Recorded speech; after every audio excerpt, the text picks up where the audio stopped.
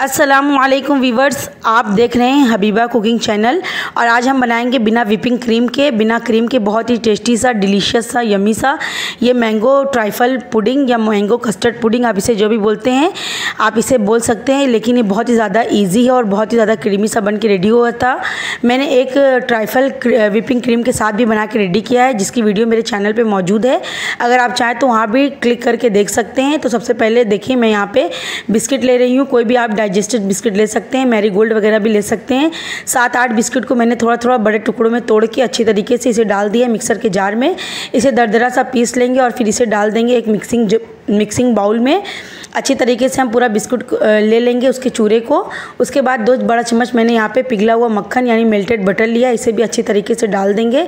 और ये बहुत ही अच्छी तरीके से मिक्स करेंगे ताकि हमारे बिस्किट के चूरे में अच्छी तरीके से मक्खन है, जो है, वो अच्छी तरीके से मिक्स हो जाए। फिर हम इसे ट्रांसफ़र करेंगे।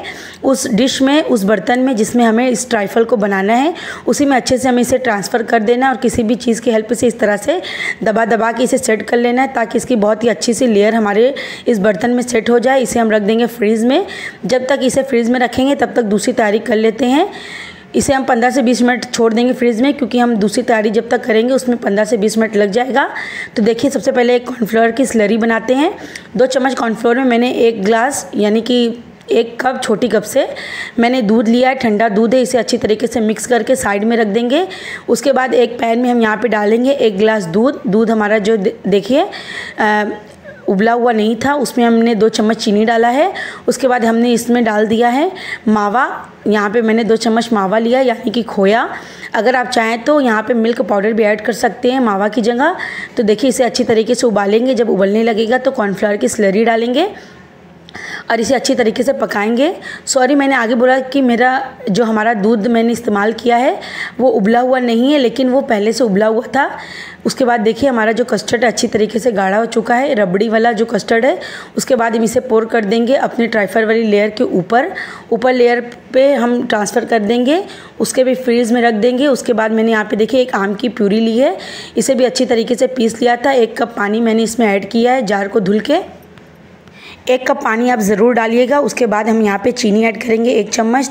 उसके बाद मैंने यहाँ पे दो चम्मच यहाँ डाला है कॉर्नफ्लावर और बिना चूल्हा पे इसे रखे हुए सबसे पहले इसे अच्छी तरीके से मिक्स करना है, वरना जो कॉर्नफ्लावर है उसकी गुठलियाँ बन जाएगी, अगर ये थोड़ा सा भी गर्म हो जाएगा।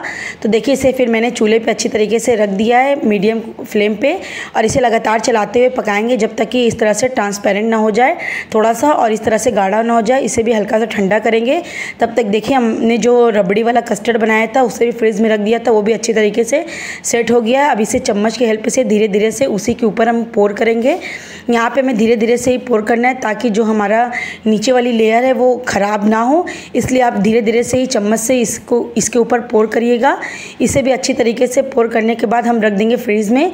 इसे भी दस मिनट के बाद देखिए अच्छी तरीके से सेट हो चुका अब इसे गार्निशिंग करेंगे। सबसे पहले मैंने यहाँ पे एक मैंगो का फ्लावर बनाया था, उसे मैंने अच्छी तरीके से सेंटर में डाल दिया है। ट्रांसफ़र कर दिया फिर थोड़ी बादाम की कतरन से सजा देंगे। अगर आपको ये फ्लावर बनाने नहीं आता है तो इसकी भी रेसिपी इसकी भी कटिंग का तरीका हमारे चैनल पे मौजूद है। आप वहाँ पे क्लिक करके देख सकते हैं। तो देखिए, मैंने इतनी, इसे पंद्रह, आधे घंटा के अंदर हमारा जो ये मैंगो ट्राइफल पुडिंग है बन के रेडी हो चुकी थी और बहुत ही ज़्यादा टेस्टी थी। आप जब भी किसी की दावत दे रहे हैं तो इसे बना के रख सकते हैं। एक दिन पहले भी इसे अच्छे से ढक के आप रख सकते हैं फ्रिज में, ताकि किसी भी मसाले वगैरह की इसमें स्मेल ना जाए। और देखिए, इसे हम कट करके सर्व करेंगे। नीचे से बिस्किट की क्रंची सी लेयर है, ऊपर से क्रीमी सी रबड़ी का कस्टर्ड है, उसके ऊपर मैंगो की जेली कस्टर्ड है। तो देखिए, इस तरह से हमारा बहुत ही टेस्टी सा तैयार हो चुका है मैंगो कस्टर्ड। रेसिपी अच्छी लगी हो तो ये सब्सक्राइब का बटन दबाएँ। बराबर पे जो बेल का आइकन है, उसे दबाने से मेरी रेसिपी सबसे पहले फ्री में देखने मिलेगी। वीडियो अच्छी लगती हो तो थम्सअप दें।